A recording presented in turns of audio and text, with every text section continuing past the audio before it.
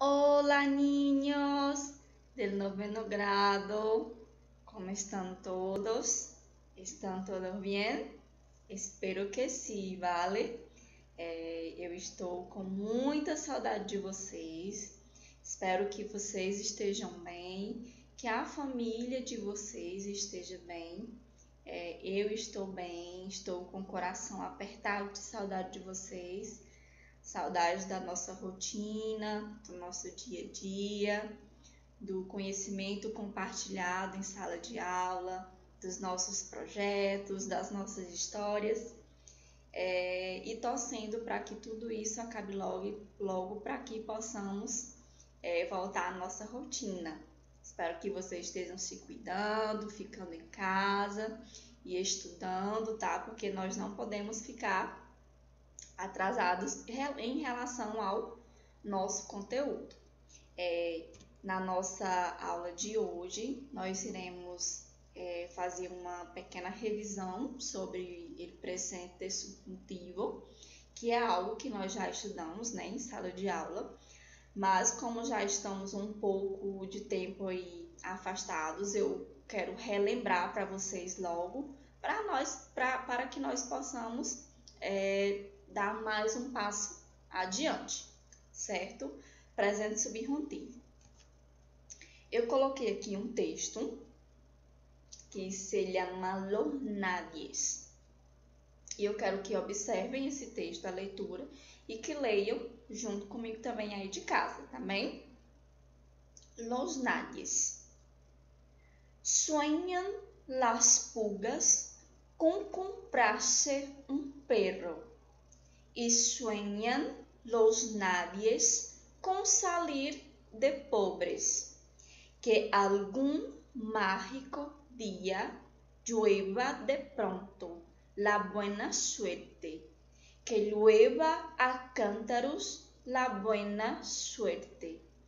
Pero la buena suerte no lleve ayer, ni hoy, ni mañana, ni nunca, ni en lloviznita cae del cielo la buena suerte. Por mucho los nadies la llamen y aunque les pide la mano izquierda o se levanten con el pie derecho o empiecen el año cambiando de escoba los nadies, los hijos de nadie, los dueños de nada. Los nadies los ningunos, los ninguneados, corriendo la liebre, muriendo la vida, jodidos, rejodidos, que no son, aunque sean, que no hablan idiomas, sino dialectos, que no profesan religiones, sino supersticiones que no hacen arte, sino artesanía, que no practican cultura, sino folclore, que no son seres humanos, sino recursos humanos. Bem, é, eu espero que vocês tenham acompanhado a leitura desse texto e que tenham observado que nesse texto existem alguns verbos que estão conjugados no presente subjuntivo. Será que vocês observaram? Coloquei aqui na frente, ó. É, esses são os verbos que estão conjugados no presente do subjuntivo. O primeiro é o verbo llueva. Llueva é del verbo llover chover. É, ele é um verbo de segunda conjugação, certo? E é um verbo irregular, de chover. Aqui também é o mesmo verbo, de chover. Llamen, que é do verbo llamar. Llamar é um verbo de primeira conjugação é um verbo regular, ok? Levantem, que é do verbo levantar. Levantar é um verbo de primeira conjugação, ele é um verbo regular, ok? Empiecem é um verbo de é, primeira conjugação. Empezar, ele é um verbo irregular, ok? Sean, que é do verbo ser, ele é um verbo de segunda conjugação. Bom, é, primeiramente, a gente aprendeu em sala que o presente subjuntivo ele é utilizado para nos ajudar a expressar desejo. É, é, presente porque eu, eu quero que aquilo aconteça naquele momento. E subjuntivo ele é utilizado para expressar principalmente desejo. Quando eu quero é, expressar alguma vontade, né, eu vou utilizar o presente subjuntivo. Ó, presente subjuntivo indica um hecho que aún no se ha realizado, que pode ou não dar-se conta. Ou seja, é uma, uma ação que ele pode ou não ser realizada, mas que eu gostaria muito que se realizasse. É um desejo. Por lo general, los verbos en el presente del subjuntivo van acompañados de las siguientes expresiones. Quizás, tal vez, no estoy seguro de eso, es posible que, creio isso e que. O que é mais utilizado é quizás, talvez e que. Esses são os que mais acompanham na hora de conjugar ele presente subjuntivo. Essas aqui são as principais expressões, tá? É, geralmente essas são as principais. Mas as que eu mais utilizo é essa aqui, ó. Quizás, talvez e que. Eu utilizo mais o que, como vocês já puderam, já puderam observar em sala de aula. El uso de subjuntivo. É, o primeiro que eu coloquei, vocês sabem, né, que é para expressar deseo, porque é uma das principais. O, ele quer expressar desejo? Utiliza o presente subjuntivo. Quiero que vengas. Quiero que vengas. Ó, o verbo vengas é do verbo venir, ele é um verbo irregular. Venir é um verbo de terceira conjugação, ok? Segundo, uma petição educada. Necessito que me ajude com el papeleo. Ajude vem do verbo ajudar. Ajudar é um verbo de primeira conjugação e ele é regular, certo? Emociones. Me alegro de que hayas venido. Hayas é do verbo haver e ele é um verbo de segunda conjugação e é um verbo irregular, certo? El presente subjuntivo também é utilizado para expressar dúvidas. Não creio que esteja em casa. Este é do verbo estar, é um verbo de primeira conjugação e ele é irregular. El presente subjuntivo também é utilizado para expressar negação. Não é certo que seja assim. Sea, ele é um verbo ser, é um verbo de segunda conjugação e está conjugado no presente subjuntivo e é irregular. É, também é utilizado para utilizar e com expressões como ojalá, exemplo, ojalá llegues a tempo a mi fiesta. Essas aqui são as, as expressões que nós vimos anteriormente e que eu falei que são as mais utilizadas na hora de formar uma frase, né? Ou na hora de conjugar também. Ojalá llegues a tiempo a mi fiesta. Llegues é do verbo llegar, é um verbo de primeira conjugação, ok? E ele é um verbo regular. Es necessário. Es necessário que vengas a visitar-me. Vengas é do verbo venir, é um verbo de terceira conjugação e ele é irregular, ok? Es preciso. Es preciso que hagas esto já. Hagas é do verbo ser, verbo de segunda conjugação e ele é irregular ok? El verbo em subjuntivo está depois que a conjunção que, ó, que nem eu falei, que é a que eu mais utilizo, né? Que é a que é a conjunção que. Sempre que eu vou conjugar em sala de aula, é, quando é o presente subjuntivo, nós sempre utilizamos o que antes, né? Porque ele facilita na hora que é, a gente vai é, formar uma frase, por exemplo, ou conjugar né? Ele bem que facilita a nossa conjugação. Bom, é, agora quanto à forma de conjugar o presente subjuntivo. É, nós, nós sabemos que, é, assim como no português, o espanhol também existem três tipos de conjugações, né?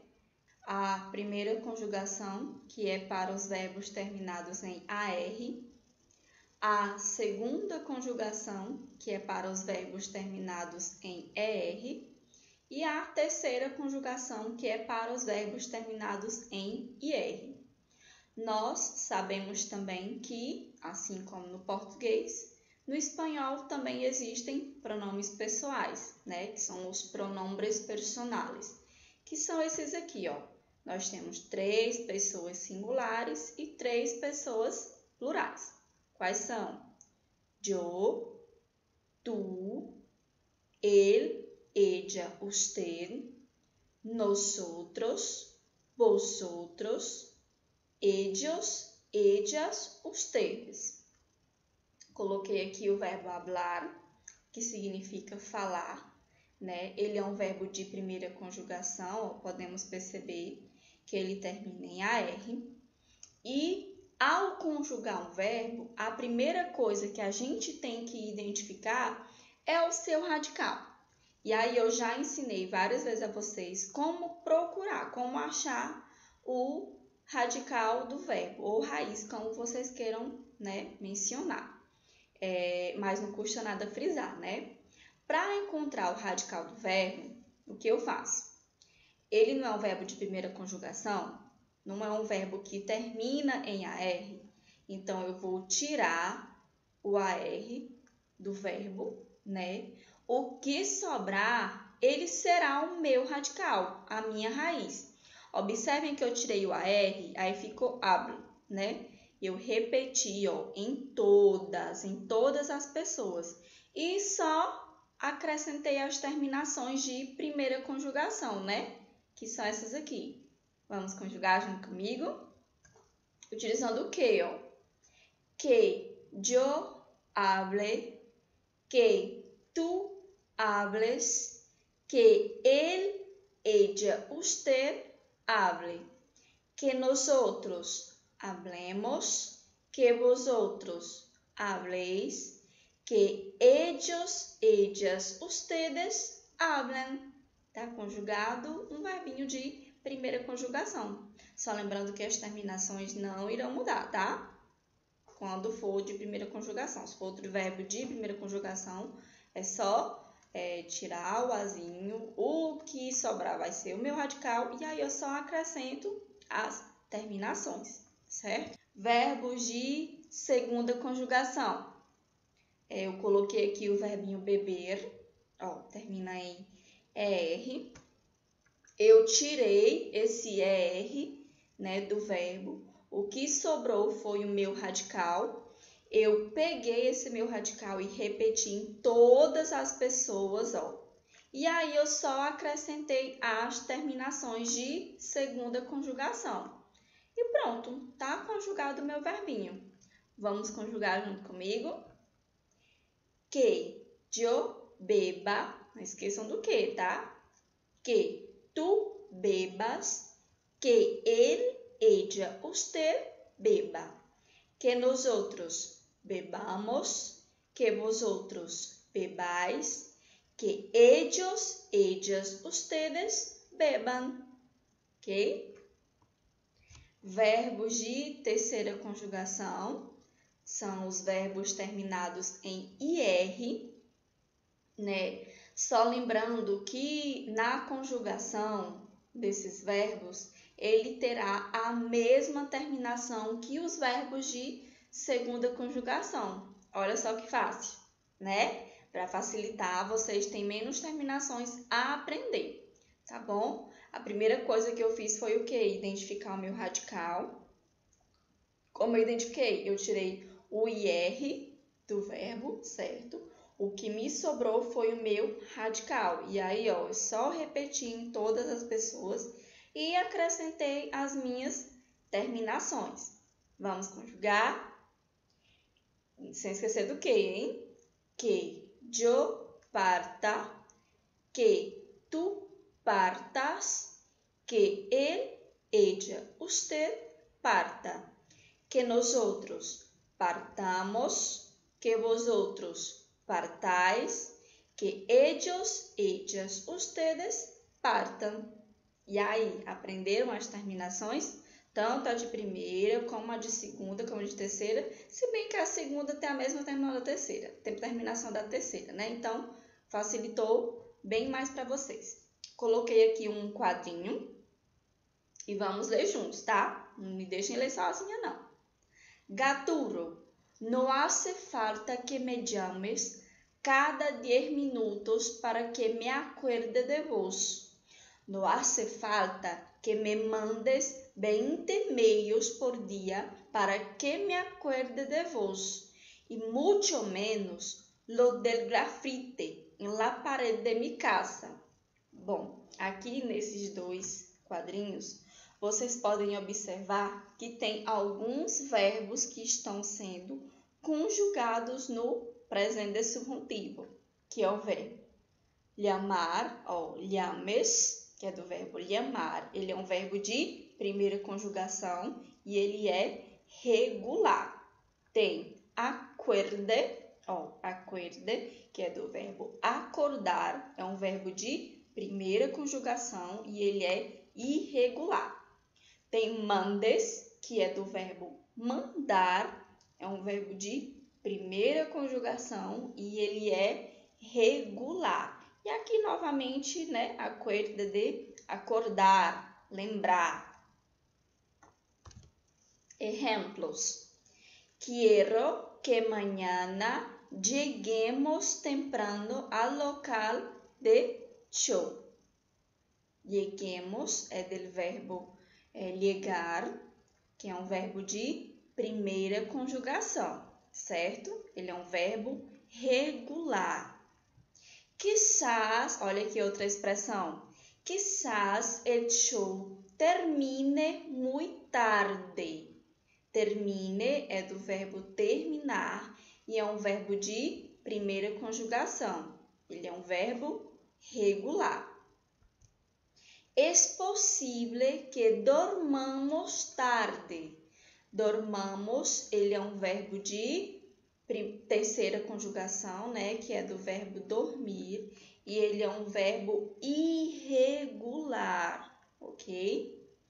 Talvez consigamos ir ao cine. Consigamos, ele é do verbo conseguir, é um verbo de terceira conjugação.